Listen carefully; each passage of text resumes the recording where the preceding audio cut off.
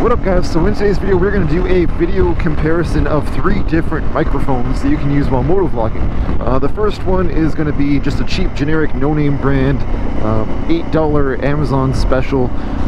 Second one is going to be the very popular Purple Panda microphone. It's what I'm using right now. Um, a lot of motovloggers, including Chase on Two Wheels, have recommended this in the past, and uh, uh, we'll see how it does my first time using it today. And then I'll be comparing to a Audio Technica ATR 3350, I believe is the model name. Now, I, I, gotta say, I've already tested the cheap one and I've already tested the Audio Technica, so this is my first time testing the Purple Panda. Let's start with the cheap one. The cheap one is slow speeds, was just fine. Here's a here's a sample of the cheap $8 no-name brand Amazon special microphone at city speeds. What up guys, Adrian from YouMotorcycle, and today's video we're going to be talking about um, dyno tuning versus auto tuning your motorcycle and which one is better. So as you can tell, decent, you know, I, I, no immediate complaints for me. I'm not a audiophile, not a super techie person, but to me that's that's fine. The problem is when you take the cheap one on the highway, this is what ends up happening. Mustang, and uh, I'm probably forgetting a couple other ones. Oh, Sargent, just hit me in the leg. That is terrifying. Because I have my camera equipment and my cell phone. Okay, I don't know what it was, but uh, my camera's still here. Now let's compare that to the Audio Technica. Audio Technica at slow speeds sounds like this. Okay, so now we're on the Audio Technica microphone. We're leaving the observatory. And um, this microphone theoretically, it's the better microphone. Again, sounds okay, but there's something there's something missing there, and I, I didn't figure it out what it was until I heard it on the highway.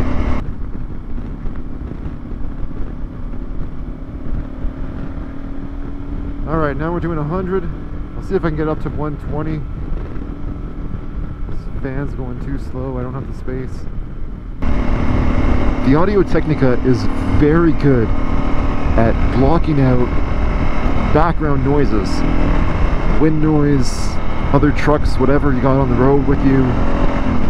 However, it also blocks out the exhaust sound of your motorcycles. When you rev it up, you don't you don't really capture that in the Audio Technica.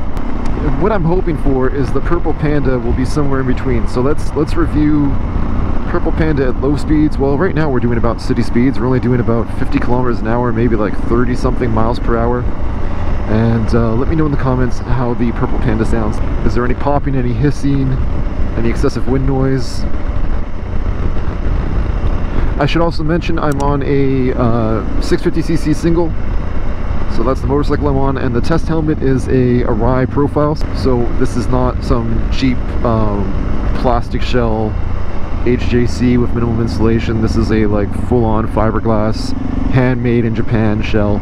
Um, good quality helmet, so any noise I believe should be more, you know, associated with the mic than with a poor quality helmet. And lastly, let's talk about this Purple Panda at uh, at highway speed. So I'll throw back the audio from a little bit earlier. So right around this speed is when the cheap helmet started crackling out like crazy. I have no idea how the Purple Panda is going to do because it's my first time taking it on the highway with it actually recording. Had a little problem last time. So yeah, what do you guys think? What do you guys... What an idiot. Messed up my corner there. What do you guys think? What do you guys like or dislike or prefer? Now I'll give you my take on all three. Um, I'll start with the Amazon one bang for your buck if you're only going to be doing city speeds or you want something for off-road riding where you're not going to be going very fast a cheap no-name $10 lavalier is probably going to be good enough for you to be totally honest. But the minute you start going on on um, highway speeds I have lost you know a good at least a good hour of footage that I won't use because the audio is so bad um, that I don't want to I don't want to burden you guys with that bad audio. I feel like I'd be doing you a disservice and ultimately I make these videos to try and help motorcyclists out. I don't really make them for myself, so I want the audio to be good enough that you guys, you know, don't hate me.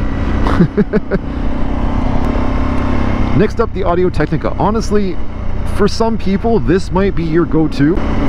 It's great at blocking out background noise. It's great at, you know, you you don't have to worry about a lot of wind if a loud truck passes by, sound of your exhaust. Maybe you don't like a motorcycle sound for whatever reason. Um, that's going to be great. You're going to appreciate that. You're going to enjoy that silence. The Audio Technica, for that reason, for me, was out. Another reason you guys might want to be um, you know, I, don't want to say avoid the Audio Technica, but just something to consider. The Audio Technica uses its own battery and it has its own on and off switch. So I have possibly made the mistake in the past of not turning it on and everything you just recorded has no audio. I have also made the mistake of leaving it on and then when I was recording the next day, guess what? The battery died because the battery had been on since the night before and who knows how many hours before that. So it's it's I'm not knocking it, it's it's different, so it's something to consider. And as for the Purple Panda, well, maybe I'll uh, just flip over to myself in the garage and uh, give you my final thoughts after reviewing this footage. All right, so after watching that, man, the grass is always greener because I'm watching it and I'm thinking, I like the Purple Panda, but I wish it was a little bit less noisy. But the Audio Technica is definitely quieter, but it's it's almost too quiet. I'm missing the exhaust pipe, I'm missing the wind, I'm missing that really immersive experience of what motorcycle riding is realistically like. So maybe the Purple Panda is a little bit more true, or maybe we like the quieter, more quality sound of the Audio Technica. Let me know in the comments what should I use because I'm sort of stumped on this. Right now, I'm leaning towards the Purple Panda, and the reason for that is what I already mentioned. There's no on-off switch I can goof up. There's no battery that can goof up on me. The second reason is it comes with adapters, so I can use it not only with a DSLR and my GoPro, I can use it with older generation GoPros, I can also use it with my uh, cell phone, so if I need to vlog on the go, I like that I have that option. Those are things that the uh, Audio Technica does not come with, but the Purple Panda does. So let me know what you guys think in the comments section down below. If you like this video, if you found it helpful, please give it a big thumbs up. I would definitely appreciate your support. And if you want to see more videos by motorcyclists whose job is helping motorcyclists, please hit subscribe. As always, thank you guys so much for watching. Ride safe, but have some fun. Peace.